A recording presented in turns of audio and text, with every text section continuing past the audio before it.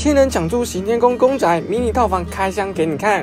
台北市行天宫公宅上月开放联合招租，总共试租十七户，短短两周就吸引一千一百五十人申请，中签率仅一点七八，创今年北市公宅中签率最低纪录。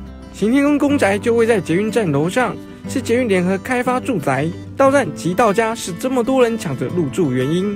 内部究竟长怎样？苹果新闻网开箱给你看。行天宫三十户公宅皆为套房房型，十六平格局狭长，有阳台大面窗和另一小窗，洒进的阳光让小房更显温暖明亮。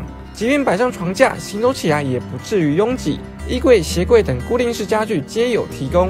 捷运连开宅因没做瓦斯管线，故以电磁炉、电热水器替代。琉璃台摆在卫浴旁的空间，上方吊挂橱柜。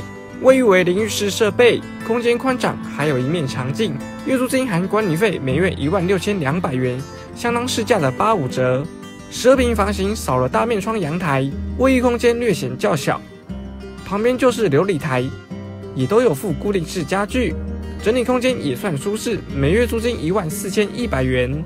这个公宅会这么受到欢迎的原因，大概一方面是因为这个地点在在捷运的楼上，所以地点相当的便利。另外就是我们的这个租金价格，除了市价八五折之外，我们还会针对不同的家户进行这个租金的分级补贴。行天宫公宅集中七楼至九楼，三楼就是小米店铺，周边临近文教区，学校众多，生活机能完善。十七屋抽签将于二十三日进行，预计五月下旬选屋，六月签约交屋。